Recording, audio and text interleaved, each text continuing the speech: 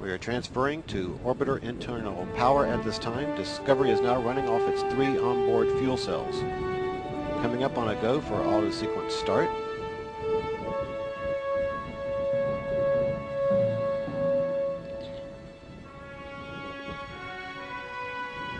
Go for auto sequence start. And we have a go for auto sequence start. start.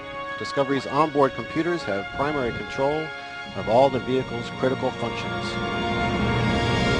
17 seconds in. 15. 12. 11. 10. 9. 8. 7. 6. Go for main engine start. Main engine start. 2. 1. Booster ignition and liftoff of the Space Shuttle Discovery returning to the space station, paving the way for future missions beyond. Discovery roll program.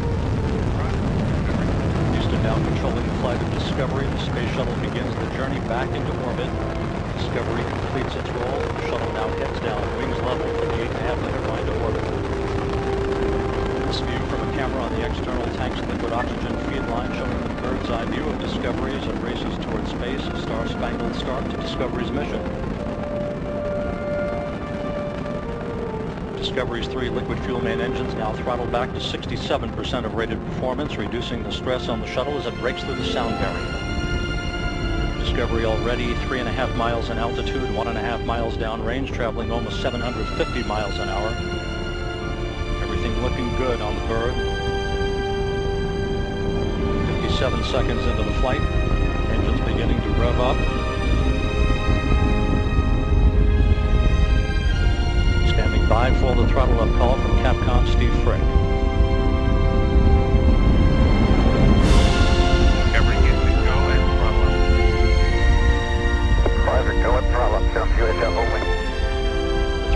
Call acknowledged by Commander Steve. Copy.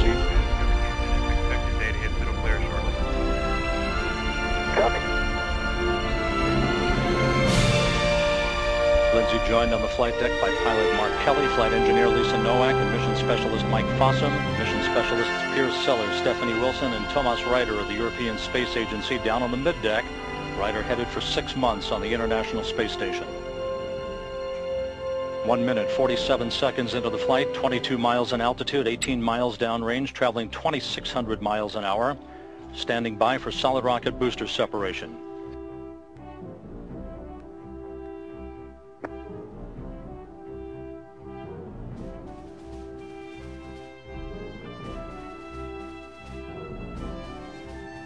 Solid rocket booster separation confirmed. Guidance now converging. Discovery's onboard computers commanding the main engine nozzles to swivel, aiming the shuttle for its precise target in space for main engine cutoff.